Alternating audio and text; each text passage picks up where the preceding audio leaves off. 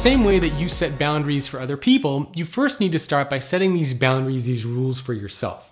So for example, I can give you some of the rules and boundaries that I personally use. Rule number one, I do not check email or social media until four o'clock every day. Don't look at it beforehand. Don't check the tweets. Don't look at social. Don't look at the email. Nothing.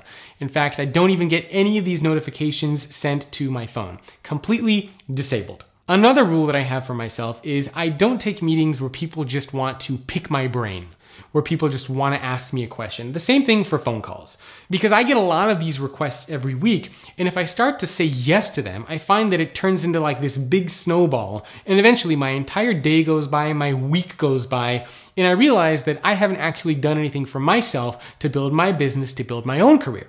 So I don't do any of those types of meetings. I don't take any of those types of phone calls. Another rule that I have for myself, no television in the bedroom, no technology during meal times. So no technology during breakfast, during lunch, during dinner.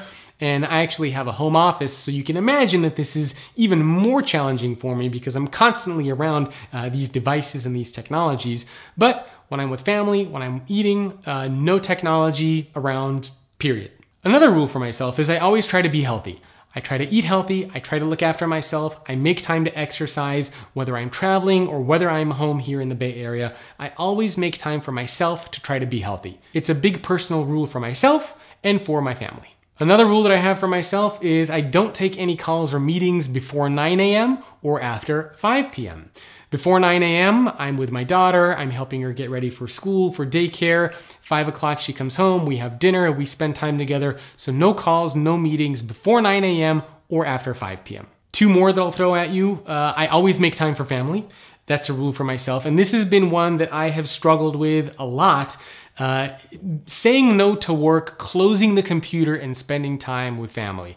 Uh, I know this is probably something that you struggle with as well. For me, it's particularly challenging because, uh, as I'm sure any entrepreneur will tell you this, when you work for yourself, you feel like you constantly can and should be doing things to build and grow.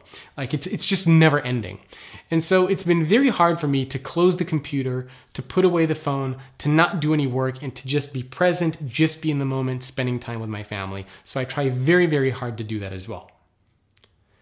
The last rule that I'll throw your way might sound a little weird, but I don't do any meetings or any calls of any kind on Monday, on Wednesday, or on Friday. This used to be a rule that I implemented for myself just for Wednesdays.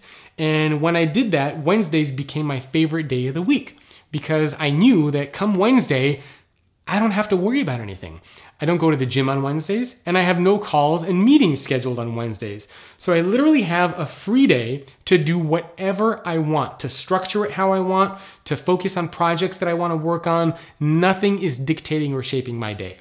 And I found that on Wednesdays, I was extremely productive. I was just able to crush all sorts of projects and tasks on my to do list. I was having a lot of fun. I was enjoying Wednesdays almost as much as I was enjoying the weekends. And so recently I put this new rule in place where I said, you know what? I'm gonna take that no meeting Wednesday and I'm gonna expand it a little bit. So no meetings Mondays, Wednesdays, or Fridays. Now, those are just some of the rules that I have for myself. You might have your own set of rules. If you don't, I encourage you to just pause this video, take a couple minutes and think about the rules that you want to have in place for yourself. The ones that are going to give you some kind of structure that will then shape the things that you should be saying yes and no to.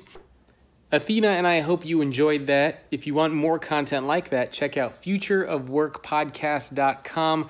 And do me a favor, please review the podcast on Apple Podcasts or whatever your preferred channel is. Thank you very much.